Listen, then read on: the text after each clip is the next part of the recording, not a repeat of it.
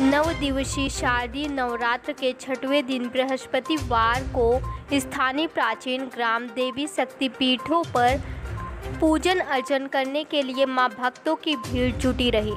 लोगों की ओर से देवी मंदिरों में नारियल चुनरी समेत फूल माला के अलावा धूप, दीप, नैवेद्य के साथ विधि विधान के साथ पूजा अर्चना की गई।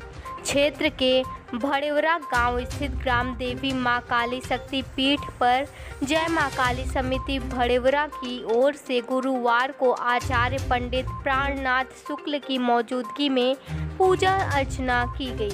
वहीं संयोजक की ओर से माँ काली का भव्य रूप से श्रृंगार किया गया था, जो कि लोगों को आकर्षित कर रही थी।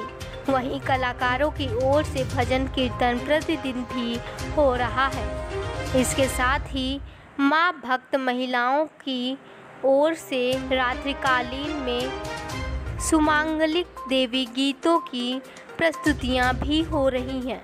समिति के अध्यक्ष वीरेंद्र यादव व व्यवस्थापक धीरज यादव ने बताया कि आचार्य पंडित प्राणनाथ शुक्ल की ओर से प्रतिदिन दुर्गा सप्तशती के पाठ का पारायण भी किया जा रहा है।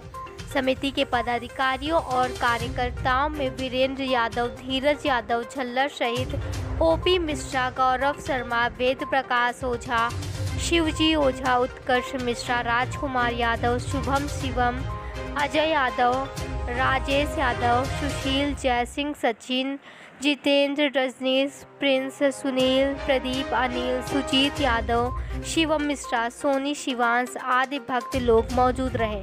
प्रयाग एक्सप्रेस न्यूज़ के लिए प्रयागराज से रोहित शर्मा की खास रिपोर्ट।